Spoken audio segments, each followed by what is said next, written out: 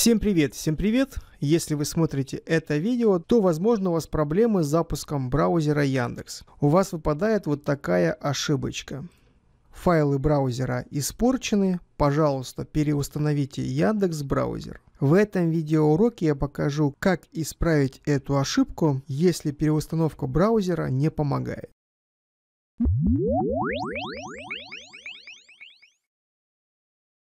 Тут дело в том, что необходимо удалить этот браузер определенным способом. Во-первых, мы открываем панель управления, удаление программы, и здесь находим Яндекс браузер. Вот он. Удаляем.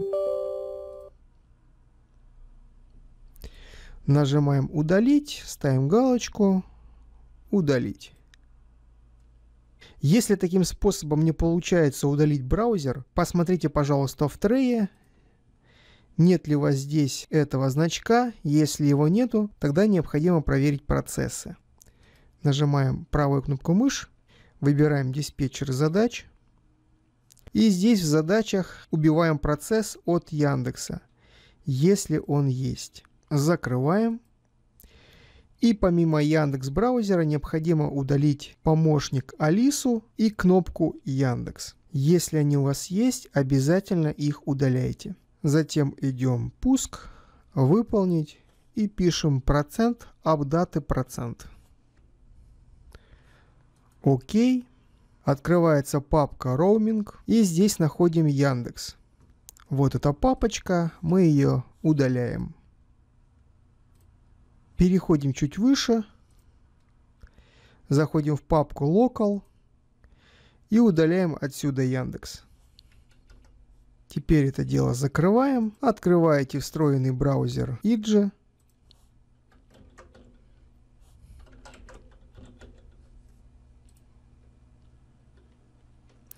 Если у вас его нету, то в семерке открываете Explorer и пишите скачать Яндекс браузеру.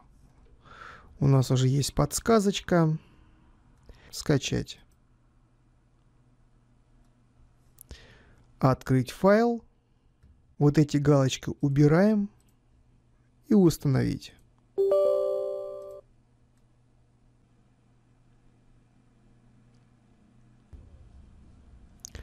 Все, браузер запустился. Здесь есть один нюанс.